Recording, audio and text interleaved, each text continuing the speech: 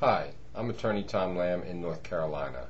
In this Asbestos News Minute, I want to tell you about a, a new mesothelioma case filed in Madison County, Illinois by Raymond Hostert, an Illinois man who was diagnosed with mesothelioma in June of 2008.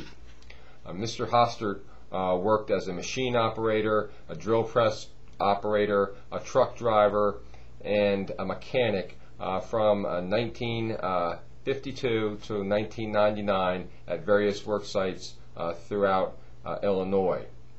during the course of his employment, he worked with and around asbestos containing products.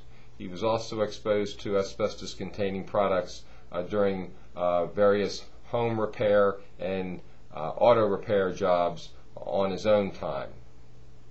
The mesothelioma lawsuit filed on behalf of Mr. Hostert uh, names 79 uh, companies uh, as defendants.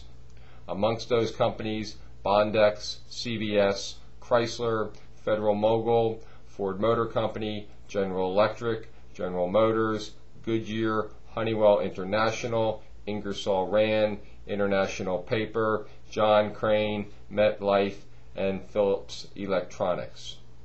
The lawsuit seeks damages, both compensatory uh, and punitive. Compensatory damages are for things such as cost of medical treatment, loss of income, and loss of consortium uh, to his uh, surviving spouse.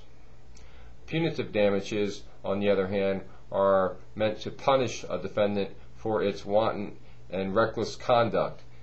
In this instance, that conduct is the fact that most, if not all, of these corporations knew that there were safer alternatives uh, to the asbestos uh, containing products which they were selling and putting into the uh, uh workplace and around uh, Mr.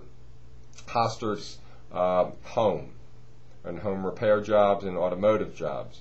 the fact that they did not use these safer products and moreover the fact that they did not properly warn about the dangers associated asbestos associated with asbestos is what gives rise uh, to the punitive damages aspect of the lawsuit. Again, this is a new mesothelioma asbestos case filed in Madison County, Illinois, early August 2008. We will monitor developments, report significant uh, developments here, uh, and for more about asbestos and legal uh, uh, compensation, we encourage you to visit our website, asbestoslegalwatch.com. Thank you and have a good day.